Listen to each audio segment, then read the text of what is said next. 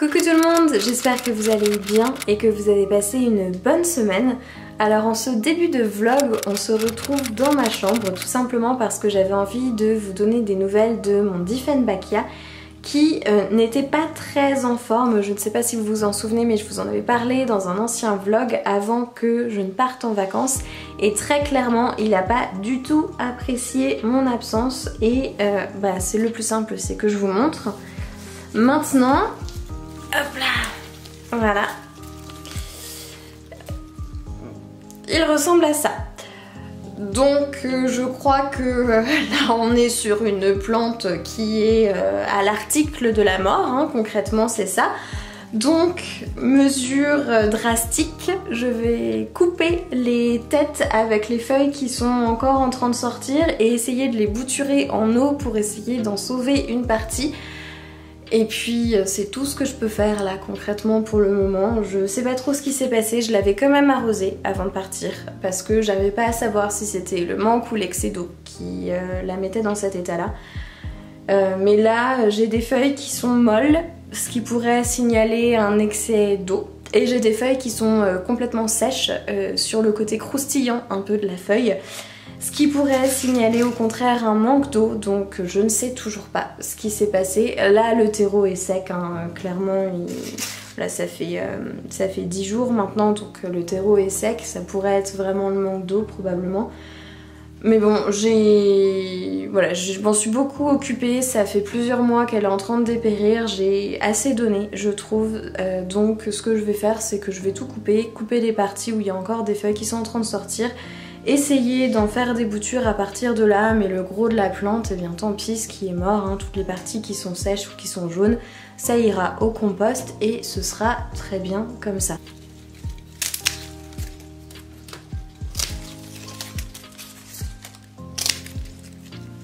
Hmm. Bon bah en fait le mystère est résolu, j'étais en train de couper les têtes des tiges où il y avait encore des feuilles qui poussaient et je me suis rendu compte que la plante était envahie de nuisibles. Voilà, donc je sais ce qui l'a tué, c'était pas du tout un problème d'arrosage, c'était un problème de bestiole. Euh, je les avais pas vus la première fois que j'avais inspecté, enfin j'ai inspecté plusieurs fois et j'avais rien vu mais en même temps, Anaïs un peu teuteux des fois, elle est à contre-jour la plante. Donc j'avais dû regarder ça, j'avais rien vu sous les feuilles, je m'étais dit bah non tout va bien. Et en fait euh, là euh, en coupant les feuilles qui étaient mortes j'ai retourné quand même pour regarder derrière. Et j'étais vraiment mais à ça de la feuille quoi quand je regardais. Et là j'ai vu des trucs qui couraient dessous et j'ai fait ah ben ceci explique cela. Donc euh, je vais même pas prendre le risque en fait de la bouturer, elle était tellement envahie de bestioles que je vais l'acheter complètement parce que j'ai trop peur que ça passe sur le reste de mes plantes. D'ailleurs, il y a mon ficus lirata qui est posé juste à côté et euh, je vais pas prendre de risque non plus avec celle-là donc euh, je vais déjà la traiter au savon noir. Je lui fais prendre des douches régulièrement donc je pense qu'il y a une partie euh, du risque qui est minimisée grâce à ça mais je vais quand même la passer complètement au savon noir pour éviter que si jamais il y en avait qui étaient dessus que ça voilà, que ça se propage. Euh, mais bon, au moins je sais ce que c'est. Et, je suis teuteux en fait parce qu'à partir du moment où euh, je me suis dit bah je sais pas si c'est un problème d'eau ou s'il y a quelque chose mais je vois pas de nuisible bla bla bla en fait j'aurais dû la traiter directement. Parce que euh, effectivement ça m'aurait évité de la retrouver dans cet état là Voilà. Donc une bonne leçon pour la prochaine fois quand vous avez une plante qui commence à vous mourir entre les mains, même si vous venez juste de la rempoter mais que vous avez rien changé, qu'elle avait besoin d'être rempotée, euh, bah en fait traitez-la pour les nuisibles, hein. c'est ce qu'il y a de plus prudent à faire. Mais comme j'en avais pas vu, je m'étais dit mais non, c'est bon, j'en ai jamais eu que je voyais pas. D'habitude j'ai des pucerons ou des moucherons, donc euh, ça se voit assez facilement quand il y a un problème. Mais là, euh, c'était... mais en fait, je sais pas trop, j'avoue. Soit c'était des araignées rouges, parce que j'avais l'impression qu'il y avait quand même des petites, euh, petites toiles un peu sur certaines parties des feuilles, enfin, petite substance un peu, peu cotonneuse peut-être sur certaines parties. mais sur d'autres feuilles, c'était pas les mêmes insectes, ça ressemblait un peu à des trips. Alors est-ce que c'est possible que genre il y ait double attaque et que ce soit araignée rouge plus trips sur la même plante? Aucune idée. C'était un des deux, je sais pas lequel, j'en ai jamais eu donc je sais pas. Je base ça sur euh, des photos que j'ai vues sur internet et sur des vidéos que j'ai vues. Mais voilà, je pense que c'était c'était un des deux. Voilà, donc si jamais euh, l'un de vous sait à partir des images que j'ai réussi à filmer, si vous arrivez à voir un petit peu, parce que c'est tellement petit, euh, mon appareil photo est pas assez puissant euh, pour vraiment zoomer un max sur les feuilles, mais je pense qu'on voit quand même quelques petites images, donc si jamais vous savez ce que c'est, bah, je suis curieuse, parce que comme ça au moins je pourrais savoir pour les prochaines fois. Voilà. Mais donc, euh, mais donc cette plante, ce Diefenbachia, est officiellement euh, coupée en petits morceaux dans un sac poubelle. Euh, et, voilà, il va, il va partir. il n'est pas mort de sa belle mort, contrairement à ce que je pensais. Mais vraiment, il a été sauvagement, sauvagement attaqué. Donc bon, tant pis, c'est comme ça, ça arrive. Et maintenant, ce qu'il va falloir que je fasse aussi, en plus de traiter mon ficus lirata qui est juste à côté, c'est que je nettoie bien mon sécateur, que je le désinfecte bien correctement. Je me suis déjà euh, lavé les mains 150 millions de fois mais que je désinfecte mon sécateur parce que si jamais je devais recouper d'autres feuilles sur d'autres plantes, je voudrais pas transporter des trucs sur ces autres plantes. Donc c'est ce que je vais faire maintenant.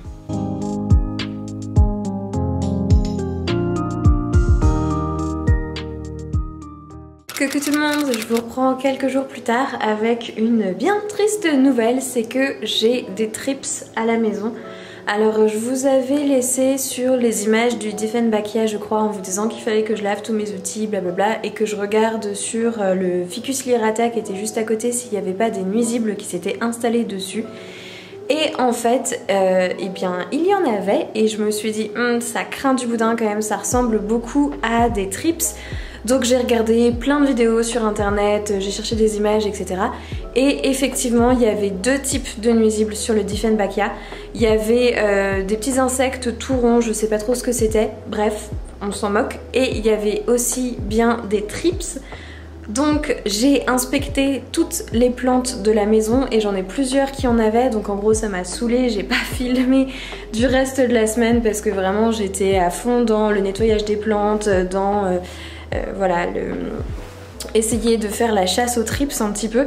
Euh, donc ce que j'ai fait c'est que j'ai récupéré toutes les plantes qui avaient des trips, je les ai mises dans la baignoire, j'ai tout rincé bien correctement et j'ai directement traité avec un insecticide. Alors je n'ai pas la bouteille avec moi, je vais la chercher. Voilà, je l'ai avec moi donc j'ai traité avec ça le fertiligène insecticide plante de la maison qui peut être utilisé en agriculture biologique.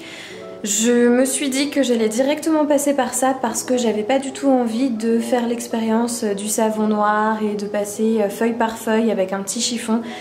D'une part c'est hyper long à faire et d'autre part c'est pas hyper hyper efficace contre les pucerons déjà je m'en étais pas dépêtrée sur euh, ma plante sur mon Xanthosoma lindeni je m'en étais pas dépêtrée et j'avais fini par utiliser ça pour que ça fonctionne donc je me suis dit euh, les trips sachant que c'est quand même un problème qui a l'air assez euh, assez gros et euh, qui a l'air assez embêtant chez les autres plantes tubers. Je me suis dit que j'avais pas du tout du tout envie de m'embêter et que ça dure des semaines et tout. Donc j'ai tout rincé dans la baignoire et ensuite j'ai passé toutes les feuilles avec ça une par une et j'inspecte absolument tous les jours et pour le moment je n'en vois pas d'autres. Donc je pense que ce que je vais faire, c'est que je vais les re-rincer et les retraiter à un moment donné dans la semaine. Je les ai un petit peu écartés du reste de mes plantes. Normalement, je serais censée les mettre en quarantaine dans complètement une autre pièce, mais j'ai des plantes partout, donc euh, dans tous les cas, euh, si je les décale ailleurs, ça changera rien. Mais j'en avais dans la chambre et dans la salle à manger. Je vais vous montrer les plantes qui ont été atteintes. Donc dans la salle à manger, juste à côté de moi, on commence ici directement. J'avais mon Anthurium Silver Blush qui avait des trips. Donc j'ai réussi à les enlever. Je pense que c'est bon. Et surtout j'étais vraiment hyper contente parce qu'il m'a fait une nouvelle feuille qui est absolument magnifique qui est énormissime par rapport aux autres feuilles. Mais on voit bien les endroits où euh, bah, en fait elles ont été euh, hyper abîmées sur les anciennes feuilles. Déjà qu'elles étaient un petit peu abîmées quand euh, il est arrivé et donc ça n'a vraiment pas arrangé la situation. Je me demande d'ailleurs si c'est pas avec cette plante que les tripes se sont arrivées puisqu'elle était déjà abîmée quand elle est arrivée comme je le disais et que c'est euh, bah, en fait quelques jours, enfin peut-être 15 jours après qu'elle soit arrivée que j'ai découvert des trips un peu partout. Donc peut-être que c'est la raison pour laquelle j'en avais. Il y en avait aussi sur ma Maranta Lemon Lime qui est donc juste ici. Et alors là vraiment été colère quand j'ai vu ça. Et d'ailleurs on voit les endroits où elles ont fait un petit peu des dégâts. Il y a des petits endroits où elles sont un petit peu abîmées. Mais pareil j'en ai pas vu énormément donc j'ai réussi à tout traiter. J'ai lavé feuille par feuille. Et elle est quand même en train de me faire un rejet juste ici. Donc euh, de ce que j'ai vu, à part le Diefenbachia qui est mort euh, vraiment à cause de nuisibles et pas forcément d'ailleurs à cause des trips, le reste de mes plantes ça a quand même l'air d'aller. Et les trois autres plantes sur lesquelles j'en avais dans ma salle à manger, je les ai décalées, je les ai toutes mises au même endroit. Donc il y avait mon Calathea orbifolia qui est posé juste ici. Pareil, ça a fait des petites taches à certains endroits. C'est à peine visible parce que je pense que j'ai réussi à prendre la chose assez tôt. À chaque fois, sur chaque plante, j'en ai vu que une ou deux. J'ai vu un ou deux adultes que j'ai réussi à euh, tuer directement. Et sinon, tout ce qui rampait, euh, j'ai réussi à les enlever. Et ensuite, j'ai traité pour les œufs, etc. D'où le fait qu'il faut que je recommence. Il y en avait aussi sur celle-ci, mon Anthurium clarinervium, alors pareil, c'est des plantes que j'ai acquises il n'y a pas très longtemps et que j'aime énormément, donc j'étais franchement pas contente quand j'ai vu ça. Et il y en avait aussi sur ce ficus qui est juste là, le ficus tiniqué. Il y en avait pareil qu'une ou deux, donc j'ai traité, j'ai lavé, j'ai rincé et pour le moment ça a l'air d'aller. Et toutes ces plantes là, je vais leur refaire prendre une douche soit cet après-midi, soit demain avec un nouveau traitement.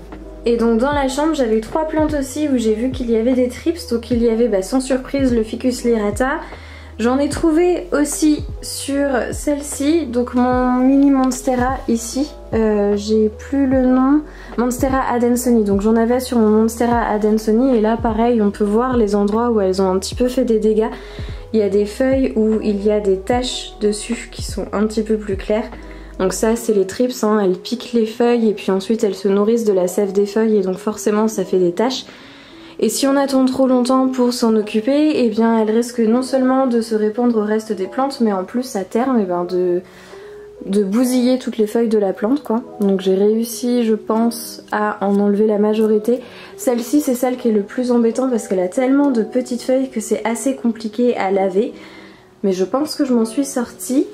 Et il y en avait sur mon spatifilum. Donc c'est les trois plantes sur lesquelles j'en ai trouvé dans la chambre. Je les ai toutes mises au même endroit, devant la fenêtre. Elles sont un petit peu à l'écart des autres plantes.